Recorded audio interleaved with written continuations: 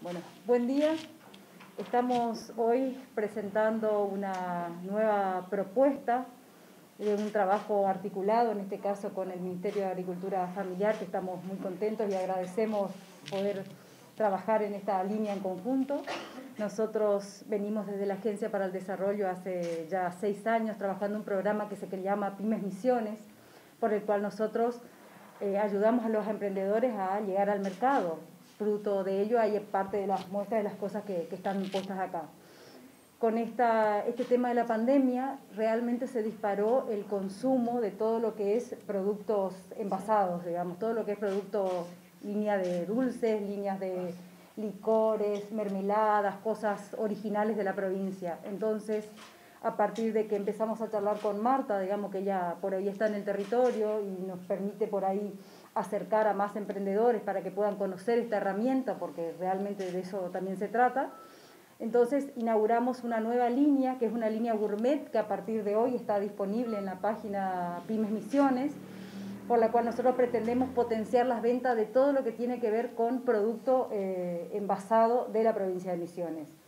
Los productos que ustedes están viendo detrás nuestros son productos que ya están, están disponibles en nuestra plataforma y estos productos que están acá son los productos que eh, a partir de este convenio como primera propuesta concreta de trabajo, como siempre nos gusta trabajar a nosotros, Marta, eh, es lo que se suman hoy a la plataforma Pymes Misiones. Están eh, ya disponibles para la venta Así que si entran a las redes sociales, Pymes Misiones, o la, perdón, a la plataforma pymesmisiones.com.ar, ya está disponible. Estamos muy felices de poder trabajar articuladamente, de poder eh, avanzar en este, en este proceso de generar mayores oportunidades para que la gente se pueda quedar en, en, en el lugar donde vive, haciendo lo que le gusta hacer, haciendo lo que elige hacer y con una posibilidad de un ingreso adicional extra que, no que implica que él puede quedarse en condiciones en mejores condiciones, no en condiciones dignas, porque creo que están en condiciones dignas, en mejores condiciones y con mayor acceso económico. el acceso es totalmente sin cargo. Hace seis años, reitero, venimos trabajando. Esta plataforma tiene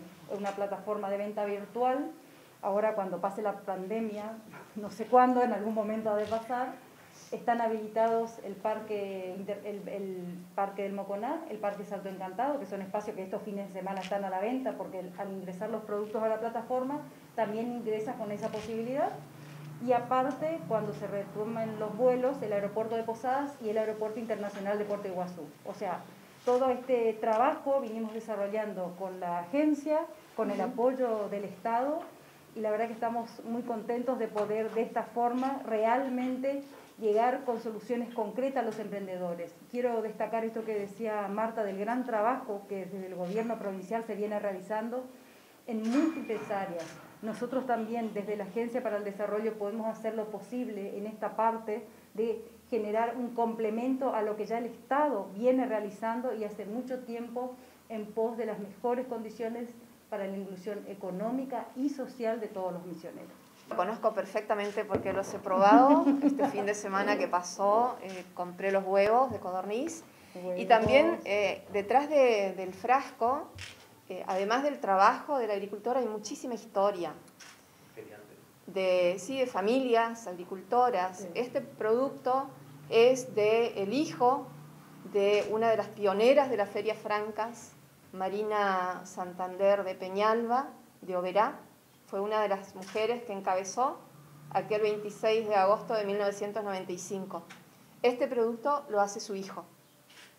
Eh, es como se va transmitiendo de generación en generación los saberes, la cultura, así que este producto también tenemos que aprender a mirarlo con la historia que hay detrás y nosotros ayudar a contarlas para también revalorizar mucho más. Lo demás es del parador, eh, ah no, es la gringa, es de Corpus, tienen un emprendimiento agroecológico, que son más o menos 7 hectáreas, tienen una variedad de, productos, pero bueno, esto es, eh, es el producto que está habilitado, que reúne las condiciones como para estar en la plataforma. Seguramente que a partir de la experiencia de hoy vamos a ir incorporando más productos, porque esto obviamente le va a interesar al productor, porque ustedes van a difundir, se van a enterar y también van a querer ingresar. Entonces nos va a permitir ir haciendo esa, ese ingreso, esa inclusión, mayor inclusión. Es una chacra agroecológica, es importante también eh, destacar esto. Y, los Meiji es del parador 3 eh, de mayo, de Garúa P, donde sabemos, hace poco estuvimos ahí en la fiesta del envasado, eh, perdón, en la feria envasado, porque no se puede hacer fiesta en contexto de pandemia, pero en la feria de envasado, donde uno suele pasar y ve también la cantidad de productos y las variedades. Siempre sorprende las combinaciones que por ahí uno no se imagina y cuando ve el producto cree que es todo lo mismo y no. Cuando uno se acerca a mirar, también detrás hay mucho, mucha historia.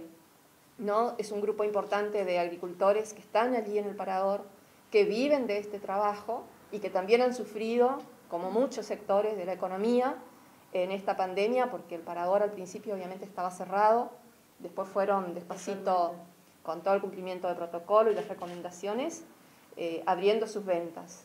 Así que seguramente que ellos están muy felices hoy que podamos lucir su trabajo y este producto.